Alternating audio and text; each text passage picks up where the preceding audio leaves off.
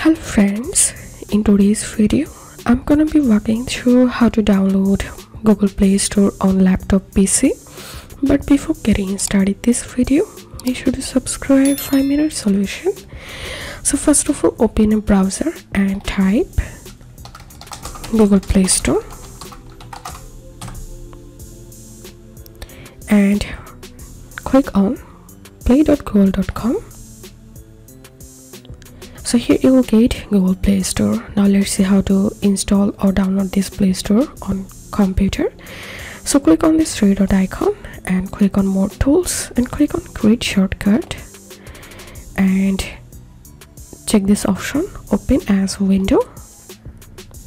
And click on create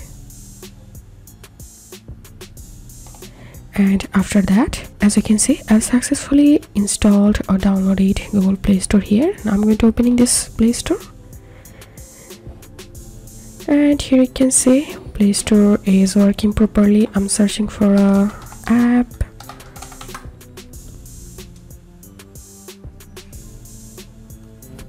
So that's how we can download or install google play store on pc or laptop and now let's see how to download any software or any app from play store. So for that you will need to open your browser again and open play store again. And search for the app or game which you want to download.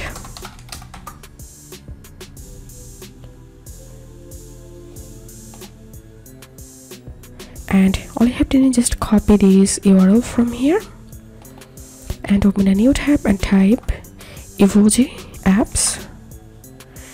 And open this website apps.evozi.com and click on apk downloader. And enter here the copied url and click on generate download link.